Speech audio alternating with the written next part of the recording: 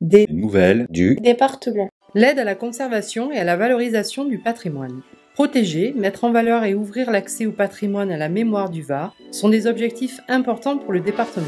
C'est pourquoi il participe à la protection et la mise en valeur du patrimoine varois classé ou non protégé à travers l'aide aux communes. Bâtiments, églises, peintures, sculptures, documents, les opérations de restauration soutenues par le département visent le patrimoine immobilier et mobilier. Le montant de l'aide du département dépend de la valeur intrinsèque du projet et de l'intérêt des édifices et des vestiges. Rendez-vous mercredi à la découverte du département.